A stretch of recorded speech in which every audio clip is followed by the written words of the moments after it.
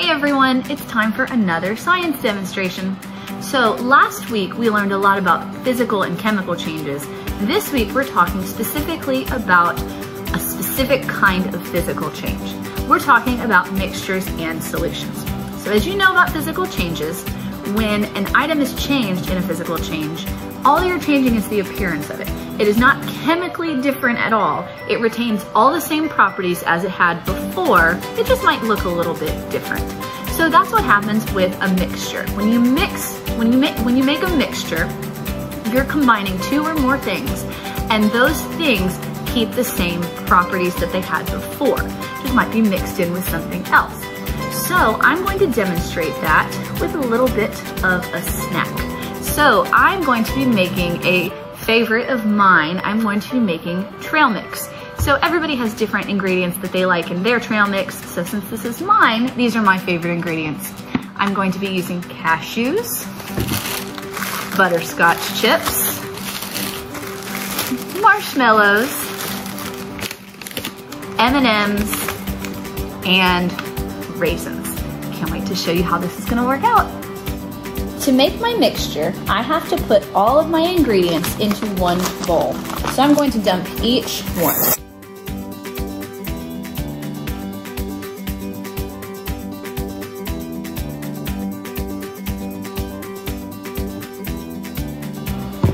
As you can see, my snack right now is just a bit layered. So I need to go ahead and do what we've been talking about and mix it up.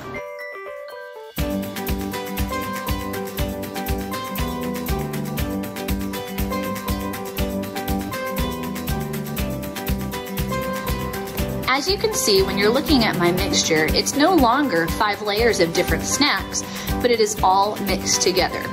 Even though they're mixed, they still keep the same qualities they had before. Another quality about a mixture is that you can undo the mixture. So if I were to take, if I were to scoop some out, I could separate them back into their different groups.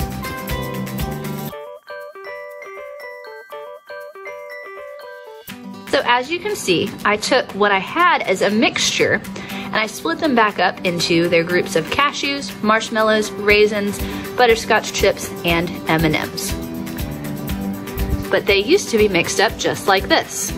So with a mixture, you can easily undo it by simply separating your groups.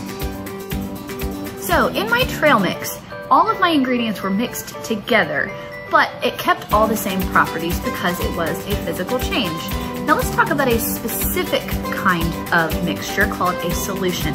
When you have a solution, you have two or more ingredients, just like with the trail mix, except all of your ingredients are evenly mixed throughout, which means that if I'm looking at it, it's going to have the same amount of something in each little part. Let me show you what I mean by making lemonade.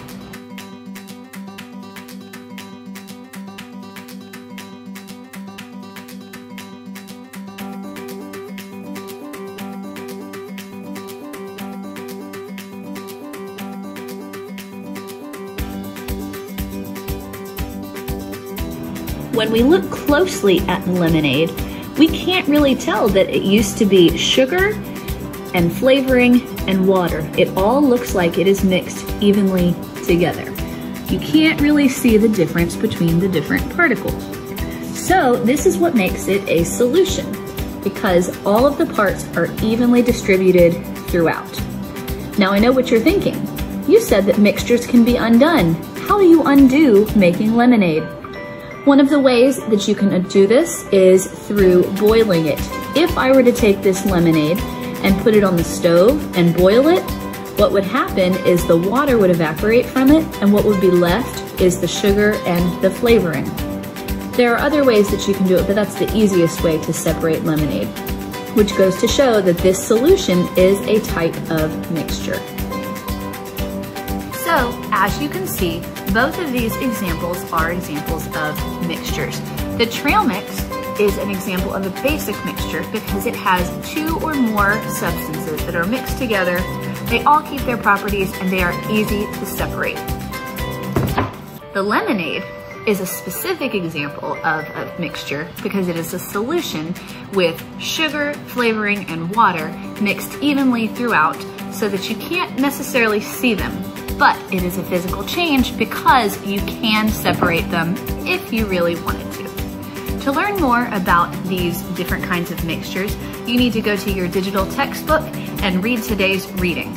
Also, make sure that you check out the Microsoft Forms assignment that is due with this as well. If you have any questions, you know where to reach me. Have a great day.